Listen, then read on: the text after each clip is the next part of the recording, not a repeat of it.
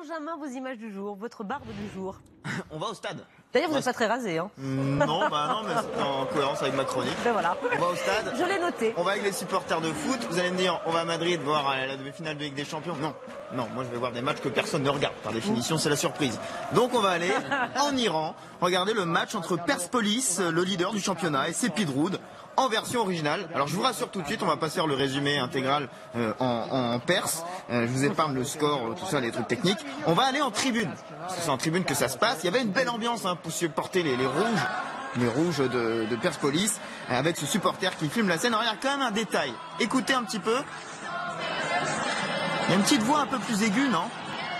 Oui. Bah, il C'est un enfant C'est une fille c'est une supportrice qui est au premier plan et non pas un supporter. Elles sont cinq femmes. Cinq femmes comme ça, à s'être déguisées. Vous allez voir l'image des cinq femmes euh, dans le, dans le stade, euh, avec des fausses barbes. C'est franchement plus vrai que nature. Incognito, vous savez que les femmes sont interdites dans les stade. stades, effectivement. Et donc elles ont fait des, des déguisements. Franchement, sa barbe, elle est plus vraie que la mienne.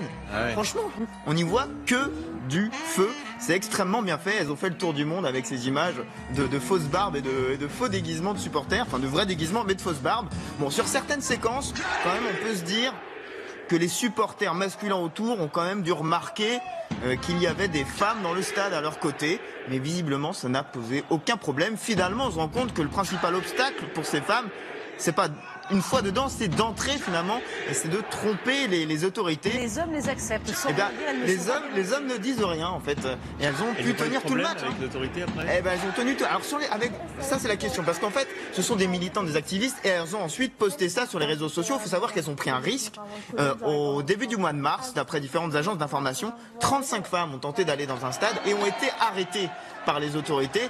Là, visiblement, de, de ce qu'on voit sur les réseaux sociaux, pour l'instant, elles sont toujours en liberté, euh, malgré l'engagement euh, qu'elles ont montré sur les réseaux sociaux. Et elles ont été saluées un peu partout. Je voulais vous montrer une page Facebook euh, qui s'appelle euh, Let Iranian Women Enter the Stadium.